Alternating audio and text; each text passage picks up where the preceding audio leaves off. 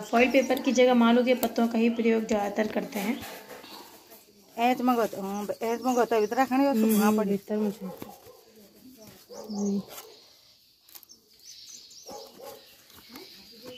चलो फिर आ, मेरा मन हो रहा है कि थोड़ा सा चटनी बनाई जाए क्योंकि वरना हमारे यहाँ पे बहुत धूप रहती है लेकिन आज मौसम साफ़ हो रखा है जैसे आप देख रहे हैं धूप नहीं है।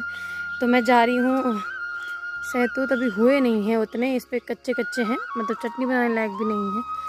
जैसे देखते हैं एक तो ये पक चुका है एक पका हुआ है और चटनी बनाने के लिए ऐसे ऐसे यूज़ होता है ये वाले मतलब ऐसे आ, कच्चे कच्चे।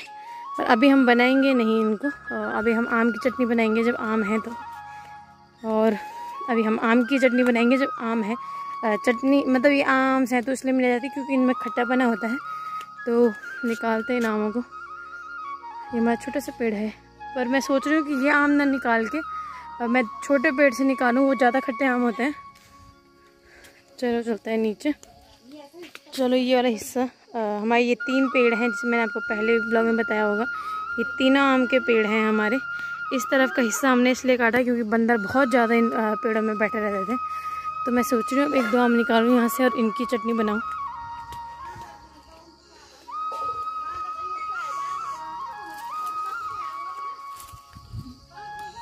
चार आम की ही चटनी बनाऊँगी इस वक्त।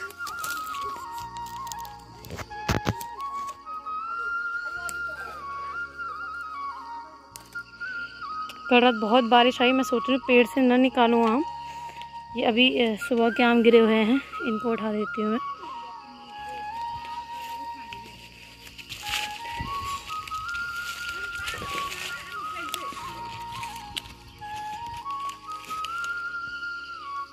चार आम कम हो जाएँगे, मुझे लगता है, क्योंकि हम बहुत सारे लोग हैं, फिर चाची लोगों को भी दूँगी बना के तो मैं और आम उठा लेती हूँ यहाँ से।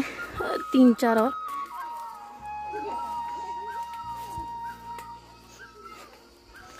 ये बहुत मीठा आम है, जो इस तरफ़ गिरे होंगे। ये है पाल का आम। नहीं, कच्चा ही है ये भी। जब यहाँ पे आई रखी हूँ तो एकदम मिर्च भी निकाल लेती हूँ।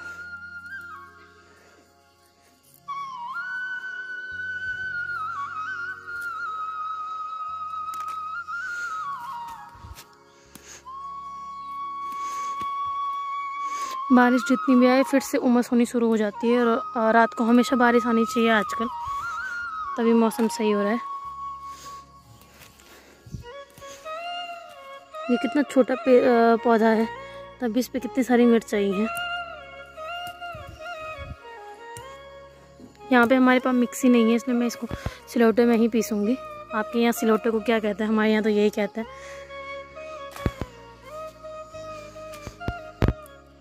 आप मुझे बताइएगा, मैं अपने ब्लॉग में जितने भी सारे शब्दों का यूज़ करूँगी कि हमारे यहाँ इसे ये कहते हैं, आप कमेंट में ज़रूर बताइएगा कि आपके यहाँ उसे क्या कहते हैं। मेरी मम्मी भी जानना चाहती है कि किसी के यहाँ क्या कहते हैं, क्योंकि सबकी भाषा और वैसे हम सब की होती गढ़वाली है लेकिन थोड़ा थोड़ा कुछ अंतर आ जाता है उसमें मतलब कुछ शब्दों का मतलब यहाँ जब मैं यहाँ थी, उसके कुछ समय बाद जब मैं कॉलेज की तरफ़ गई, अपने अगस्तमुनी की तरफ़ तो वहाँ मैंने बहुत सारे शब्द ऐसे सुने जो मेरे को पता भी नहीं थे कि ऐसे कहते हैं।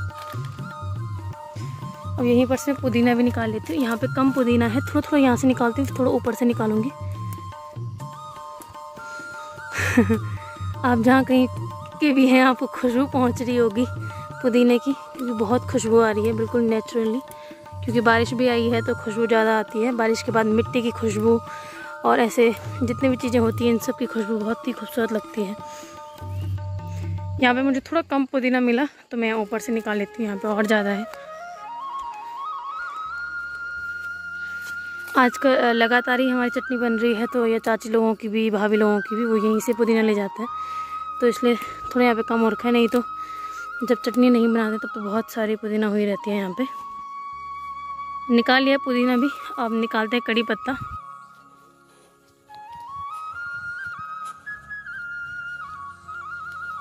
कड़ी पत्ता तो हमें जगह जगह पे मिल सकता है यहाँ पे, लेकिन वैसे मैंने उसका एक पौधा यहाँ नीचे देखा था, ये मिल गया हमको। इसको हम पूरा ही निकाल लेंगे। अभी नीचे बहुत सारा है। यहाँ पे।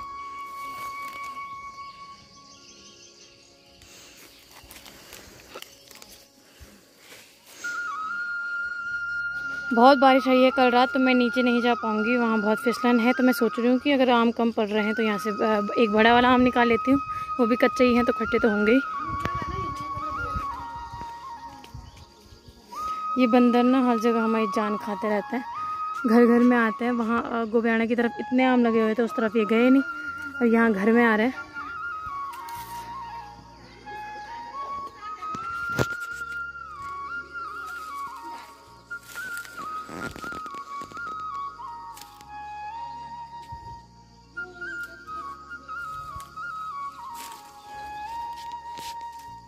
चलो इनको धो देते हैं।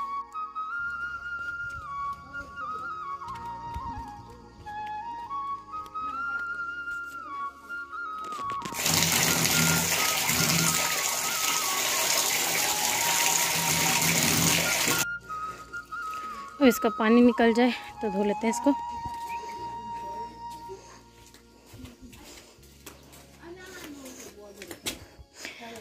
ये हमारा सिलोटा।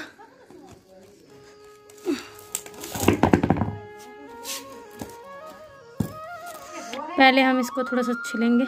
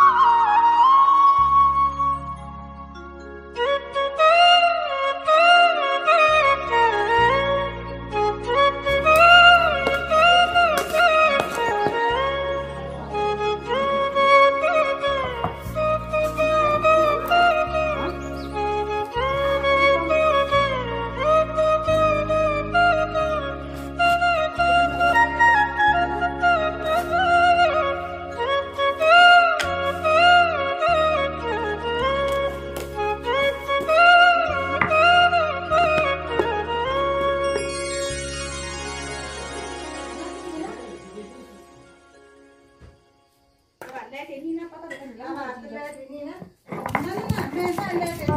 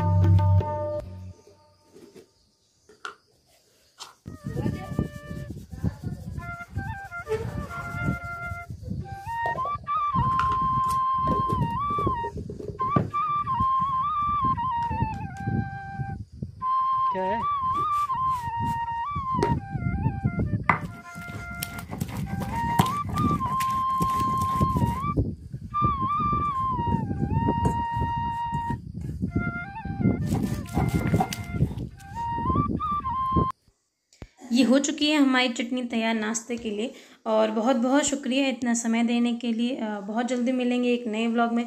तब तक आप सभी अपना ख्याल रखिए। अगर आप मेरे चैनल पे नए हैं तो चैनल को ज़रूर सब्सक्राइब करें। धन्यवाद।